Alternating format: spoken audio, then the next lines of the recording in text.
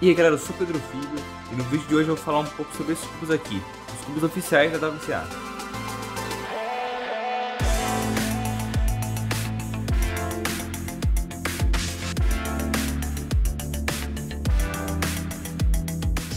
Então esse vídeo aqui é dedicado àquelas pessoas que estão começando agora no mundo do cubo mágico e não sabem quais são os cubos que dá para fazer em competições. Então eu vou mostrar esses cubos aqui, vou falar um pouco sobre eles também esses aqui, como eu disse, são os cubos oficiais da WCA, que é a Associação Mundial de Cubo Mágico. Se vocês quiserem, posso fazer mais pra frente um vídeo falando sobre os eventos da WCA. Que daí inclui o BLD, que é de olhos vendados, o H, que é uma mão só. Enfim, tem vários outros eventos aí. Hoje eu vou mostrar os cubos mesmo. Então vamos começar com os cubos normais, digamos assim. Que são o quê? Os cubos que são todos quadrados assim, né? Tem lados todos iguais e com cubos, né? Então eu vou alinhar eles aqui, 2x2, 3x3, colocar o azul na frente para ficar mais bonitinha. Aqui 4x4, 5, 6 e 7x7. Beleza, estão todos aqui alinhados. E uma coisa que a gente tem que reparar bastante aqui é que os cubos ímpares, que são o 3x3, 5x5 e o 7x7, eles não têm peças internas e não têm paridades. Então, quando você vai resolver um 7x7, por incrível que pareça, é mais fácil do que um 6x6. Porque o 6, mesmo tendo bem menos peças, ele tem peças internas, ou seja, ele tem paridades. Bom, para quem não sabe, vou fazer uma paridade aqui, para mostrar como é que é. Assim, é a paridade. Isso aqui é uma coisa que é impossível de acontecer num cubo 3x3, por exemplo, ou no 7x7, que é ficar dois meios só trocados. Isso aqui só acontece em cubos pares, como o 6x6, o 4x4. Acho que no 4x4 vai ficar um pouco mais fácil de ver. Ele é basicamente um cubo 5x5, só que disfarçado de 4x4. Porque as peças internas dele são essas peças aqui. É como se elas ficassem para dentro do cubo e não fossem visíveis. Então esse aqui não tem nada lá no meio. Porque todas as peças estão para fora. Mas é como se o 4x4 fosse um 5x5, só que as peças de fora são maiores e elas cobrem essas peças aqui de dentro. E por causa disso acontecem algumas coisas, uma delas é a paridade, outra delas é os centros, que aqui não tem centro fixo. Então você pode fazer o centro branco, por exemplo, encolado você quiser. Porque aqui, nos cubos ímpares, os centros são sempre fixos. Então, eles nunca vão mudar de lugar. Sempre vai estar, se você alinhar três, por exemplo, Vamos misturar os centros aqui. Então, por exemplo, se você colocar o branco embaixo, aqui o branco, o azul na frente, o vermelho vai estar sempre na direita, o laranja vai estar sempre na esquerda, o amarelo sempre em cima e o verde sempre atrás. Então tem essas propriedades que acontecem nesses cubos. Mas nos cubos pares isso não acontece. A única exceção que eu acho que todo mundo sabe é o 2x2, porque ele não tem paridade mesmo sendo um cubo par. Tanto porque as paridades ocorrem só nas peças de meio dos cubos a partir do 4x4. E 2x2 não tem meio, só os cantos. E como eu disse, ele é quase um 3x3, só que as peças de canto ficam por cima das peças de meio. Onde está aqui o parafuso seria a peça de centro, e essa pecinha aqui no meio seria uma peça de meio. Ah, e uma coisa que eu esqueci de falar é que todos os cubos têm um core e no caso desses cubos que eu mostrei, do 2x2 até o 7x7, é um core com 6 pontas, ou seja, 6 lados. É um parafuso para cada lado. Então agora que eu falei um pouco desses cubos aqui, que eu acho que é o mais básico assim que vocês têm que saber, eu vou falar um pouco sobre os cubos diferentes. E começando com o mais diferente de todos, que é o Mega Mix. Ele é um dodecaedro, ou seja, ele tem 12 lados. Cada um dos lados tem um centro, cinco meios e cinco cantos. Se você não percebeu, ele parece bastante com o 3x3 e eu vou explicar por quê. Aqui no 3x3 a gente tem três peças em uma aresta. Uma, duas, três.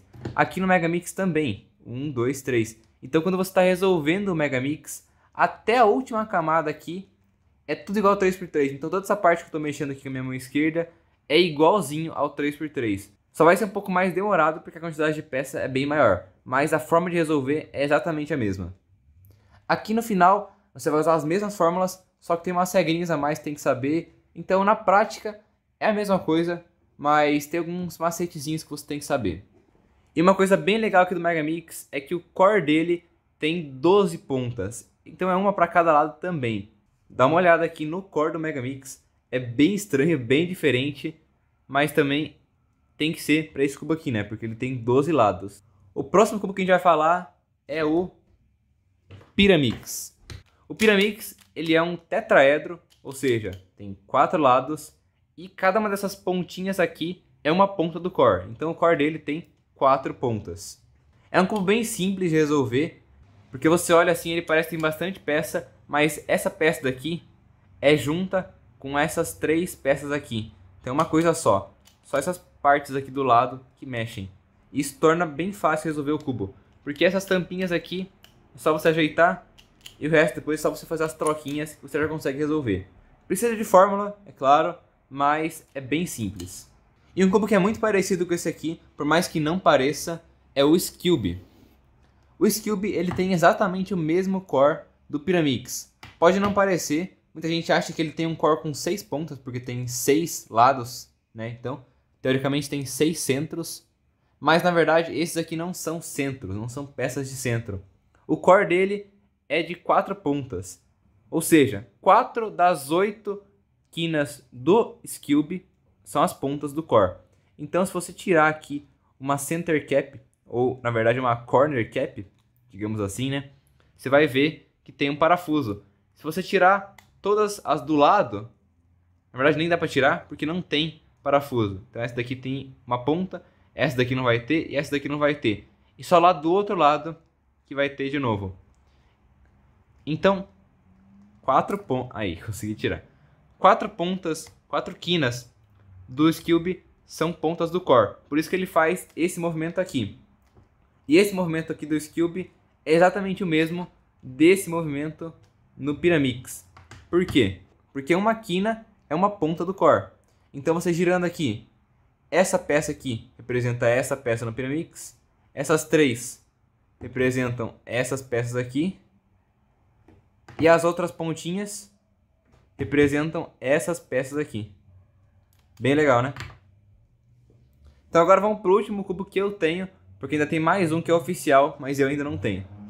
Então esse aqui é o último da minha lista aqui dos cubos oficiais. Esse aqui é o Square One. Eu acho que ele é o mais diferentoso assim, mais estranho, mais diferente mesmo dos outros.